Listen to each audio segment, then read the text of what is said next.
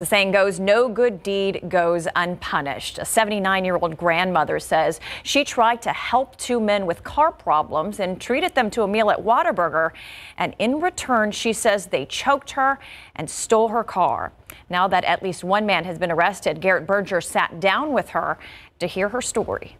It was a Sunday morning, and Joan Baskin had just grabbed her mail when a man approached her. And he said he didn't know how to work his car. He had a tire trouble. Baskin, who had driven to the mailboxes, says she loaned him a jack. At some point, a second guy drove up, and they tried to fix the car. I thought, these are poor guys, and I never thought of anything else. Baskin took them to her house to grab some bricks out of her yard to help with the repair efforts. And she even brought them on a trip to Whataburger, where she treated them to breakfast. I spoke Spanish with them, and I thought, uh, they're just guys.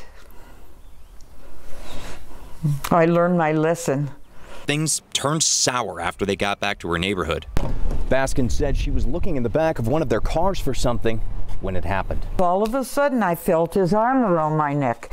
And I said, What's going on here? And I said, Hey, hey, really loud. And then I screamed help about six or seven times. Of course, no one heard me. Baskin doesn't remember how the attack stopped. And I said, Where's my car? to myself. Car was gone already they had taken off in my car. However, according to an arrest affidavit, they had also been captured on surveillance video during that Whataburger trip. So when police recovered Baskin's car the next day, an 18-year-old Jose Carbajal was ID'd as the driver. Police said he had the same hat and distinctive forearm tattoo as seen in the surveillance video. And investigators say he gave a full confession to the robbery. Due to Baskin's age, Carbajal is facing an aggravated robbery charge. He's still here in the Bexar County Jail on that and other charges. San Antonio police say that investigators are still working the case and trying to identify the second suspect. Live at the Bexar County Jail, I'm Garrett Brnger, KSAT 12 News.